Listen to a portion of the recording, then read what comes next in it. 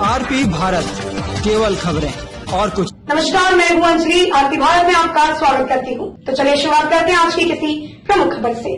दुमका ज़िले में सोमवार को कोरोना के 18 मरीज़ मिले हैं।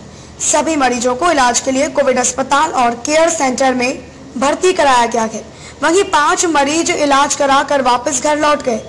बताते चले कि 18 संक्रमित मरीजों में उपायुक्त कोठी में कार्यरत तीन चालक गोपी कांदर में एसएसबी नारगंज के सहायक कमांडेंट समेत चार जवान, केंद्रीय कारा के दो बंदी, मसलिया के तीन, चुहावगान के वटपाड़ा, सदर शिकारीपाड़ा व जरमुंडी का एक एक व्यक्ति शामिल है। सभी का इलाज कोविड अस्पताल एवं केयर सेंटर में चल रखा है। इस प्रकार दुमका ज़िले में कुल संक्रमित मरीजों की संख्या 240 पर पहुँच गई है। इसमें 142 ठीक होकर घर जा चुके हैं, जबकि 104 लोगों का इलाज चल रहा है।